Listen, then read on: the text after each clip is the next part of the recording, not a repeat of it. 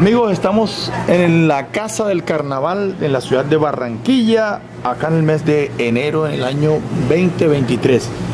Acá tenemos la presencia de dos eh, reyes momo del carnaval, quienes nos van a compartir sus experiencias acerca de cómo ha sido su participación en esta fiesta de carnaval. Maestro, por favor, ¿cómo es su nombre? Eh, mi nombre es José Ignacio Casiani, eh, muy conocido como el Pavo. José Ignacio Casiani. Ok, ese Casiani tiene que ver con Palenque. No, sí, eh, eh, sí y, y no, porque es que en Cartagena, eh, mi papá, toda, toda la descendencia viene de Cartagena, allá en Casiani. Entonces, Sí. otros que escogieron para Palenque, pues también son Ah, apellidos. Casiani, porque la historia de Casiani es un cura italiano Ah, sí, que defendía mucho a los afrodescendientes. Ah, ok, ok, ok, bueno. Entonces, recuérdenos, ¿en qué año fue usted Rey Momo? Bueno, yo fui rey Momo en el año 2008.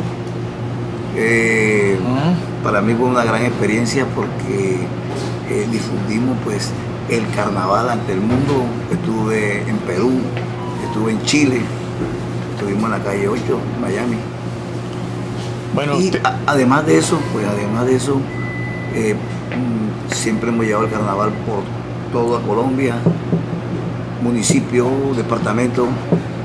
Y lo más lindo pues que me ha pasado a mí es eh, llevar nuestro carnaval ante la UNESCO a la ratificación porque el carnaval fue elevado obra maestra del patrimonio oral intangible de la humanidad correcto. en el 2003. Ok, bueno, entonces hagamos una pregunta aquí que el público nos ve del, del mundo y de Colombia y de Barranquilla. ¿Qué significa ser Rey Momo? O sea, ¿cuál es la función de un Rey Momo? Bueno, el rey Momo es el que preside la fiesta más grande de Colombia, como es el Carnaval de Barranquilla. Y en todas partes del mundo, el rey Momo es el que preside la fiesta. En Brasil, el Momo. En Honolulu, en Bolivia, el rey Momo. En Italia, el Momo. Es un rey de mofa, de alegría y goce. Ok, pero aquí en Barranquilla específicamente, ¿quién, el- por ejemplo, en el caso suyo, quién le dijo, bueno, usted queda designado Rey Momo? ¿Qué requisitos? ¿Cómo eligen un Rey Momo? Bueno, ¿Por qué o cómo? Pues eh, cuando yo estaba, pues había que meter la hoja de vida. eh, Ah, o sea, hay que postularse. Por mérito, eso no es- hay que postularse. Eh, en ese tiempo había, creo que eran cuatro, cuatro o cinco personas que estaban postuladas. Bueno, ahora este año hubieron como 18 o 20. Ah, o sea que para rey, para uno ser Rey Momo tiene que uno postularse, decir, Claro. hey, yo quiero ser Rey No, Momo, Y, y mostrar la hoja y estudia la hoja de vida. Pero esa, esa persona tiene que tener méritos de qué, de músico, de bailarín, de qué. No, no, no, no. ¿Cuál es el, el perfil de un Rey Momo? tener conocimientos sobre todo lo que es el carnaval de Barranquilla y todo lo que son las expresiones, cómo son las músicas, si son eh, danza o si son de comparsa o si son de eh, bailes cantados. En Sí. fin, hay mucha, hay mucha variación de, en la parte musical. Importante la música. Ok, bueno, de y, pronto. y a través de eso pues viene la parafernalia, o sea, la- Ah, los vestidos, cómo se disfrazan. Bueno, de pronto no sé si la pregunta sea para ustedes, porque, bueno, ¿y cómo se elige quién y cómo se- qué criterios para elegir la reina del carnaval? ¿Cómo, por qué, cómo se elige eso? Bueno, eh, nosotros somos escogidos por popular, pero Ah. las reinas, bueno, salen de, ¿sabes? De la alta sociedad. Sí, de mucho de dinero, Ah. que por eso es que ella tiene que levantarse temprano e ir a la prensa y decir, yo soy fulano y tal, en cambio ya uno lo conoce, no, ese es el pago, Ah. ese es Cáceres, Cáceres. ese- entonces pues somos eh, populares, Ah, ok, ok, ok, bueno. para no solamente tener bagaje, sino ser popular. Bueno, pero entonces en el caso suyo, cuando fue Rey Momo, ¿qué, qué, qué, qué pasó ahí? O sea, va con la reina, supongo con la reina de ese entonces, y pero ¿qué, qué, qué función hace? O, o sea, porque la reina es la que declara, bueno, se, eh, se aprende en la fiesta del carnaval, pero el Rey Momo, ¿qué es? ¿Un acompañante o, o qué, qué función cumple? Bueno, es que lo que pasa es que aquí se ha perdido eso, de que se han olvidado de que el que manda el rey. Ah, el rey. Más la mujer es un acompañante. En cambio, aquí se invirtieron Ah. los papeles. Aquí hay un matriarcado de que la mujer es la que supuestamente manda, pero no es así. Ah. Porque nosotros tuvimos también en, en- en la embajada de Japón, Y, y allá apenas que me vieron, oh, ¿quién carnaval? Y se- y se- Ah. pero a la reina no le decían nada. Ah, sí. claro. Se voltearon Hay una entonces. importancia el sobre el rey, porque el rey es el que manda, la, la- la mujer es sumisa, o sea, es compañera. En cambio aquí, bueno, eh, gracias a Dios, pues a mí me fue bien. Pero cuando yo estuve, eh, eh, estuvimos en Miami en un programa que se llama Despierta América, me hicieron la, esa misma pregunta que tú me dices, ¿cuál es la función? Y yo dije, no, yo soy el que preside la fiesta del carnaval, cualquier carnaval del mundo, es el rey. Y me salió que no. Entonces hicieron un corte. Entonces yo le, le, le- le- dije, mira, mamita, está equivocada. El que preside la fiesta es el rey Momo. Porque cuando se ve el bando, es Sí. la apertura Ah, del carnaval exacto. de Barranquilla, que se ven siempre los 20 de enero, Sí, 21. este es San Sebastián. ¿Qué pasa? ¿Qué pasa? De que ustedes lo dicen, las mujeres, pero no es así. Hoy damos inicio a la lectura del bando por la gracia de la reina, no, del momo. Entonces queda, queda, queda la importancia que es el momo el que manda la fiesta. Bueno, y en el caso suyo, ¿qué le dejó? O sea, ¿qué?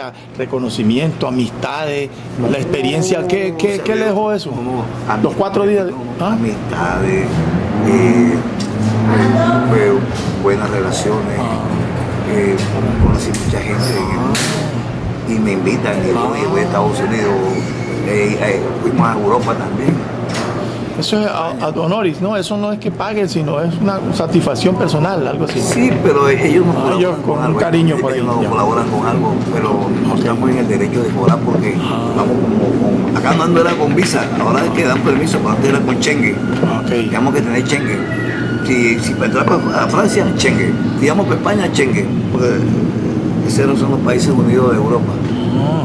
Y acá en Estados Unidos siempre la Ustedes han viajado, pues, han viajado en representación del carnaval. El carnaval, o sea, el carnaval los envía a ustedes para que sean como embajadores, pues, de, promover la- el carnaval. De hecho, de hecho somos embajadores. Ah, ok. ¿Cómo es su nombre, maestro?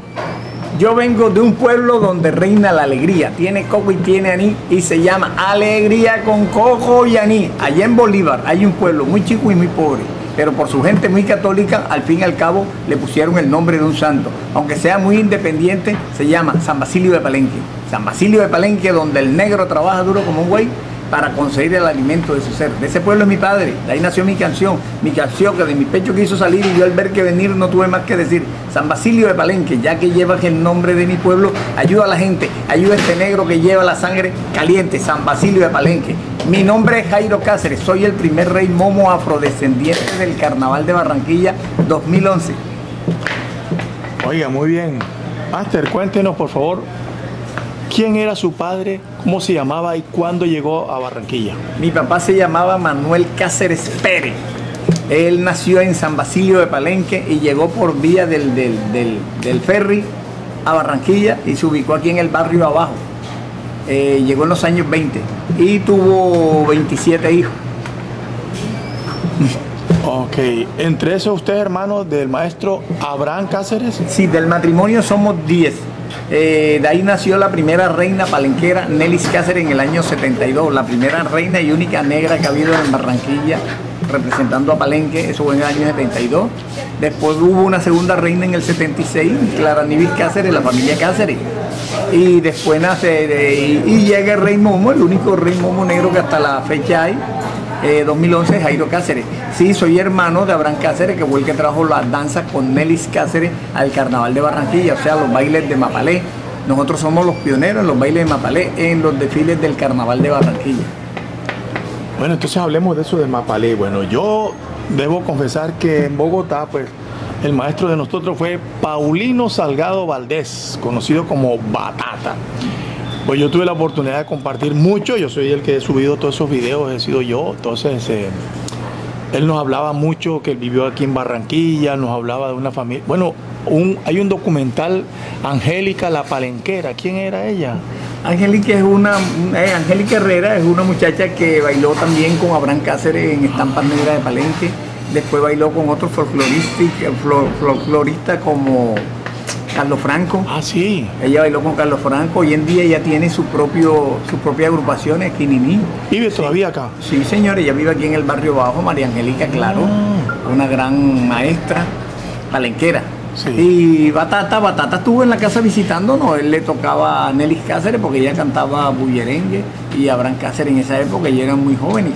Y el tipo estuvo visitando en la casa Palenquero, paisano de mi papá que que nació en Palenque porque yo soy palenquillero. Yo nací aquí en un barrio popular de Barranquilla como Altos Prados La Manga. Ahí nació este negro, el primer rey momo afrodescendiente de Barranquilla.